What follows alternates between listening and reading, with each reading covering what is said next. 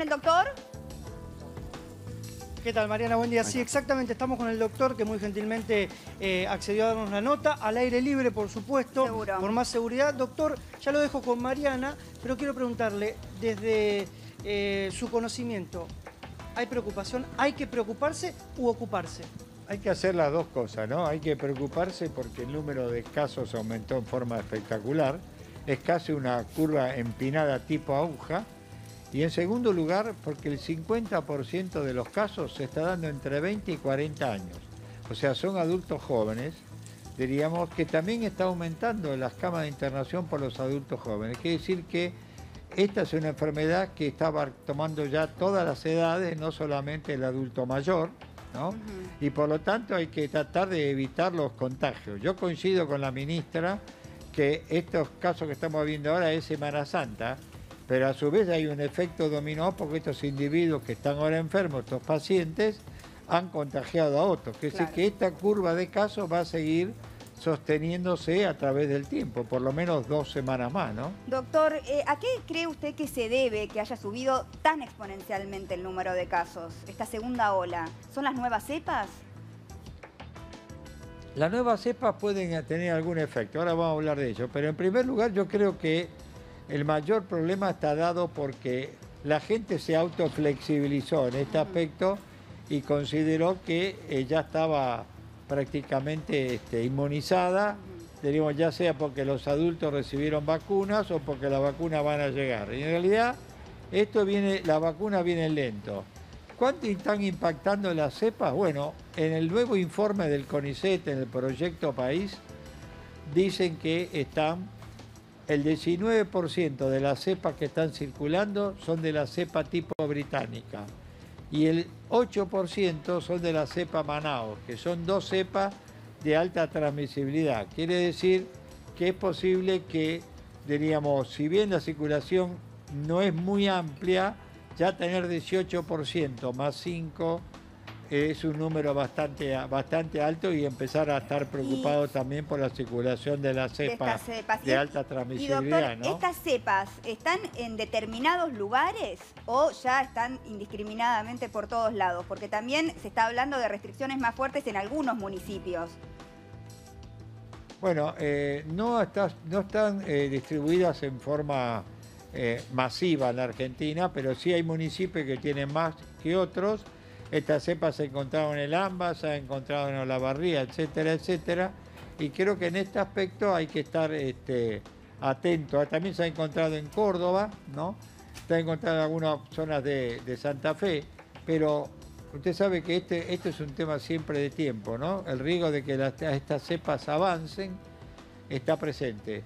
¿Y hasta Generalmente cuándo? estas cepas dejan de avanzar, dejan de avanzar cuando usted tiene vacunada a la población.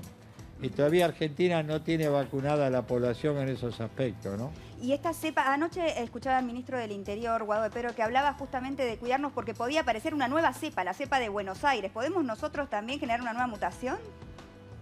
¿A qué se debe eso? Mire, estos virus van, es porque los- estos virus van mutando, tiene una mutación importante, no es que mutan cada seis meses, sino van mutando rápidamente.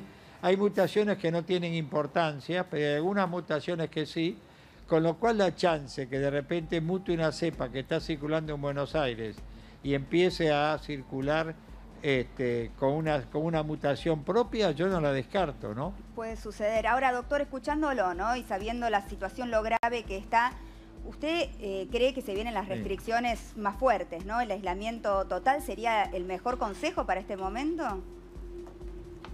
Mire, yo vengo hablando ya hace tiempo que las cuarentenas tienen que ser muy restrictivas, focalizadas y de corto tiempo. No más de 10 a 15 días.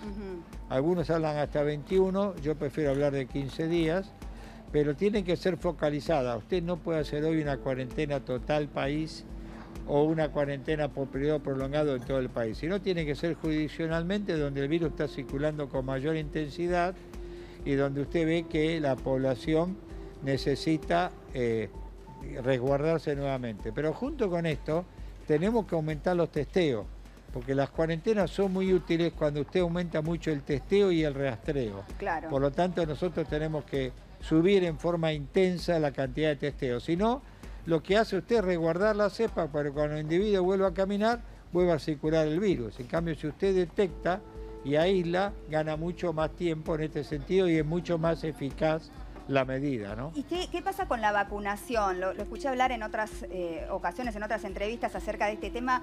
Vamos lento, ¿por qué vamos lento? ¿Vamos a poder mejorar? Yo creo que por un lado vamos lento porque no estamos llegando a la vacuna como, que, como queremos. Y en segundo lugar, porque entre la vacuna distribuida y las vacunas aplicadas hay una diferencia que es alrededor de un 30% y eso hace que la, la vacunación al final se enlentece. Tendríamos que, apurarla, pero también tenemos que aumentar la llegada de vacunas, ¿no? Sí, que no se sabe cuándo va a ser, ¿no? No, ¿Qué eh, dijo la ministra de Salud con respecto a eso? Doctor, ¿sabe que en realidad hay, hay como muchas dudas respecto de esto, de cuándo van a llegar las vacunas? Nosotros preguntamos hoy a autoridades del gobierno de la Ciudad de Buenos Aires, dicen tenemos vacunas hasta el viernes. Provincia de Buenos Aires hasta el martes. En esta zona, cuando usted, doctor, habla de este, autoflexibilización por parte de la gente, es cierto, la gente debe, debe este, mejorar un poco y debemos todos cuidarnos más. Ahora, del Estado también, me parece. Esto que usted dice, testeos, estamos en, en promedio, ayer hubo creo que cerca de 90.000, que no es poco, pero se necesitan duplicar o triplicar. Y además la vacuna que está llegando y muy poco, eso no depende de la gente. Usted está cerca de las autoridades sanitarias y del gobierno. ¿Qué es lo que, lo que dicen este, frente a estos datos? Bueno, nosotros en la última reunión no hemos discutido sobre vacunas, sinceramente. Pero es evidente que la producción de la vacuna Sputnik no es tan rápida como pensamos y Sinopharm, que la otra vacuna, tiene bastante este, demanda, inclusive una demanda que va a ser la demanda china propiamente dicho. Y en tercer lugar, AstraZeneca, creo que a fin de mes, primero día de mayo, va a empezar a llegar en forma importante Ujú. la vacuna que se produjeron en el país y se envasaron en México y Estados Unidos. Así que una vez que empiece a- el, el grupo de AstraZeneca a producir eh, la- a través del laboratorio MAPSAI en forma intensa, vamos, creo que va a mejorar. Pero vamos a tener un cuello de botella no fácil En de estas acá a semanas, fin de ¿no? mes. ¿eh? Exacto, que son las semanas que... Exactamente. Eh, a mí me gustaría, para, para cerrar eh, esta pequeña charla, doctor, que usted le, le diga algo a la gente que nos está mirando, ¿no? Porque la gente está con miedo, eh, lo escucha usted, que es un especialista. Es momento de cuidarnos de verdad, de no relajarnos, ¿no?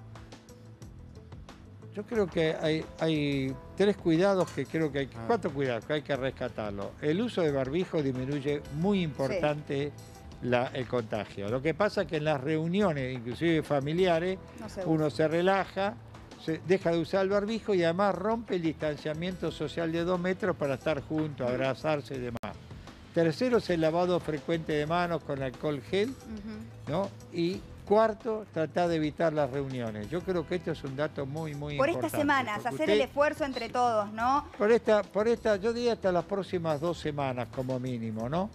Este, creo que en esto es, es importante. Y eh, por otro lado, creo que se están haciendo algunas medidas buenas, ¿no? Hoy vi los, recorrí un poco los ómnibus, los colectivos, Las por decirlo así. ventanillas y abiertas. estamos las ventanillas est- están abiertas, la gente está tomando distancia de los, de los, de los asientos, así que eso me, me, Tomando me conciencia entre todos y si haciendo... nos ayudamos, si no, ahí está, si nos ayudamos entre todos, nos vamos a ayudar a nosotros mismos.